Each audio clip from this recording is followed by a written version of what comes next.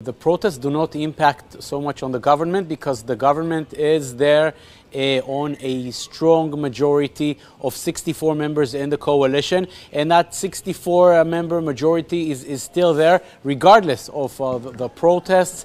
Uh, Netanyahu has a very strong grip on his coalition with all of the uh, uh, turmoils that we've seen in the, in the year and a half of this government before and after the war.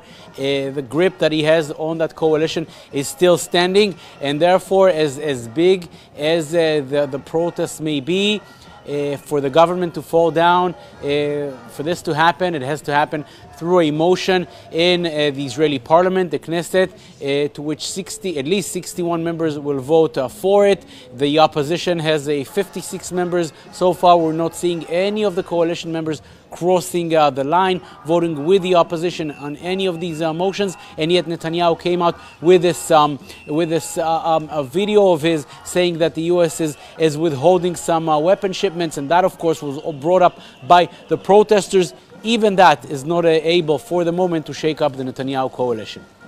We know that there's a great anger in uh, the United States. The Americans are saying we simply don't know why Benjamin Netanyahu had to do this. Why did he have to come up with this video? And why did he have to do this at such a sensitive time? Israel does not only depend on the United States for its, the success of its campaign in uh, Gaza, for anything regarding Gaza in the United Nations Security Council, with the Americans vetoing again and again and again any anti Israel motion.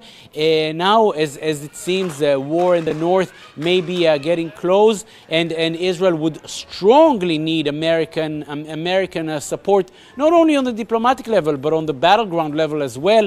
Uh, uh saying, uh, coming out with such a video at this sensitive uh, time, say the Americans, we simply don't understand why it happened.